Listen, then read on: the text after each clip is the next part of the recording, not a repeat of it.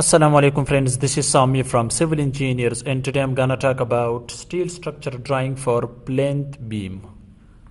That's why I'm recording today steel structure drawing for plinth beam because many civil engineering students they were asking about this topic that's sir upload some videos about steel structure drawing for plinth beam. So this is my first video steel structure drawing for plinth beam, right?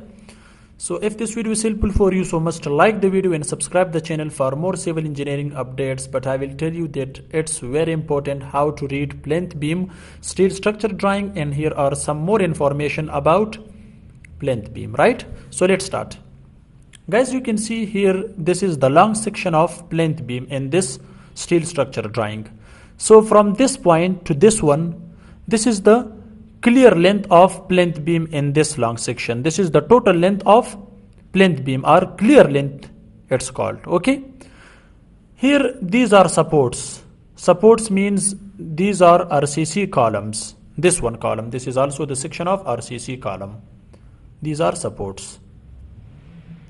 This is the clear length of plinth beam.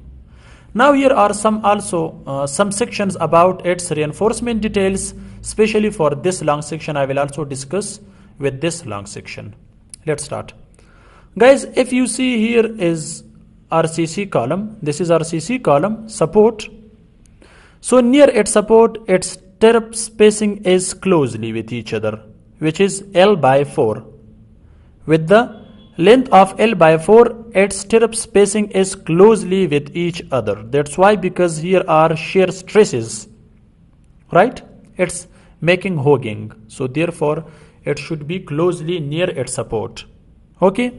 So here also in this section you can see L by 4 from this to this one point its uh, its stirrups are closely with each other. So this is 0101 section.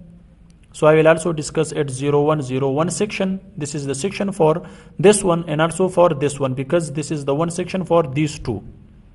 And here 02 section and this is also 02 section. This is the other section for 0202 section. I will also discuss about its stirrups detail. Guys look at this. This is the mark which you can see. Let me focus the camera. It will be clear for you. Okay. So 0202 section you can see the dia of the stirrup is 3 number dia is used in this stirrup okay just the camera is out of focus. It's okay now.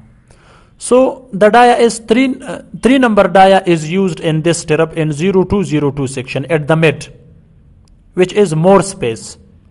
So 3 by 8 inches dia is used in this stirrup which spacing is spacing between two stirrup is 8 inches. So 8 inches center to center distance between two stirrups are spacing between two stirrups at the mid. After the L by 4 length okay from this point from this one okay and also from this point it's 8 inches. This is also 8 inches till to this point okay now we have the other I will also discuss it section. So this is section for 0202 section. You can see especially for this one right? So you can see guys here here are five uh, first of all we have total numbers of steel bar eight steel bars we have. So one two three four five six seven eight number of steel used here. So first of all I will also tell you size of column. Uh, sorry size of plinth beam. This is 18 inches. Sorry uh, yes 18 inches and this is 10 inches. Same like this one okay? It's same. But I have uh, I, I did not take the dimension so therefore I'm sorry for that okay? It's same like this because this is the one long section for both I have to take right? Now 5 number dia is used in longitudinal bars. So the dia is 5 number 5 by 8 inches is the dia of longitudinal bars in this long section for plinth beam, right? This is dia and 8 numbers of steel bars. I have already discussed 1, 2, 3. 3 at the top, 3 at the bottom and 3 at the mid, right? Now here you can see this point. So here you can see this is stirrups in long section this is stirrup okay so the stirrup dia is 3 3 number dia used in the stirrup. So 3 by 8 inches dia which spacing is 8 inches center to center. You can see here.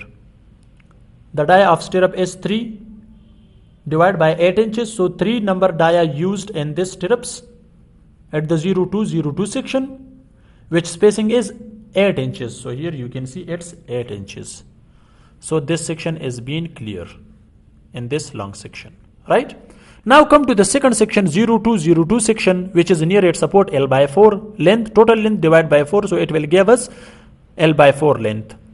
This one in this the stirrups should be closely with each other as you can see here in this long section. So now dia of the stirrup is same like 0202 section which is 3 number dia used in this stirrup. 3 by 8 inches is the dia of stirrup at the rate 4 inches. Its spacing is 4 inches guys. It's 4 inches. Right? Same like this one. Here is also same. Now i will also discuss its section 0 101 section for this for these two. So now you can see this.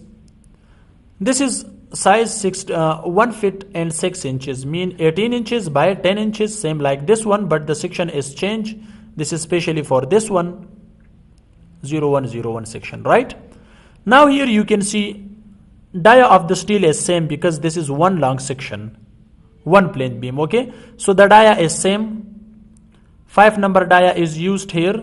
5 divided by 8 8 inches is the dia of the steel bars and total numbers of steel bars are used here 8 numbers because just the sections are changed for the stirrups not for longitudinal bars so therefore you can see the same value here. 5 number dia used here total numbers of steel bars are 8 numbers you can see. Now come to the 8 stirrups. So 3 number dia used in stirrup 3 divided by 8 inches at the dia but its spacing is 4 inches. 4 inches center to center. You can see here its spacing. This is its spacing. This. This one. Okay it's 4 inches. As I have already discussed in section spacing is 4 inches this one.